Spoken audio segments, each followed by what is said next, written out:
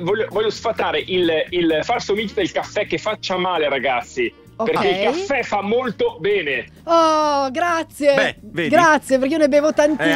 anch'io, anch'io. Anzi, anzi, vi dico una cosa, dalla ricerca scientifica emerge che fino a tre caffè al giorno non sono protettivi. Tra i tre caffè e i 5 o 6 al giorno invece risulta essere protettivo, cioè ci fa del bene il caffè.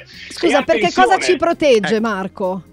Esatto, esatto, guarda, se siamo in buona salute comunque, pensate che diversi sono gli effetti del caffè grazie agli 800 composti volatili che contiene Ok. e tra questi composti, oltre ovviamente l'alcaloide il più famoso che è la caffeina, c'è anche l'acido clorogenico che pensate che è capace di ridurre l'assorbimento degli zuccheri e dei grassi nel nostro corpo, praticamente ci riduce anche il colesterolo cattivo. Ah. È fantastico il caffè.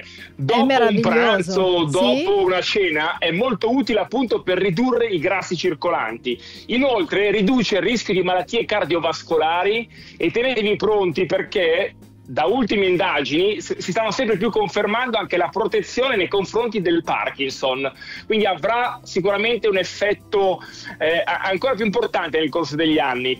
Inoltre, non da ultimo, ovviamente, il rischio oncologico viene ridotto perché aiuta a proteggere il fegato, la cute, cioè la pelle, e il colon retto. Quindi Ma- evviva il caffè, ragazzi. Evviva il caffè, Eh, Marco, sì. ma senti, con zucchero o senza zucchero? Immagino senza, Senza, amaro. dai, ma certo. No? Ragazzi, senza zucchero. Assolutamente il caffè con zucchero d'accordo. non è caffè, Eh, bravo. mi raccomando. Ok. eh. Ok, ok, ok. Zucchero? No, no, io, lo- io lo- oh, da tanti anni ormai lo È prendo vero, amaro, anch'io. amaro, amarissimo, quindi Lo assapori al, al massimo. mi insomma. piace di più, Sì. quindi Se il bene caffè così. è buono, alla fine riusciamo a averlo anche senza zucchero. Quindi l'importante è sempre un po' la qualità. Quindi Senti- Marco, tu ci stavi dicendo che fino a 6 caffè al giorno sarebbero consentiti? Cioè non c'è nessun rischio?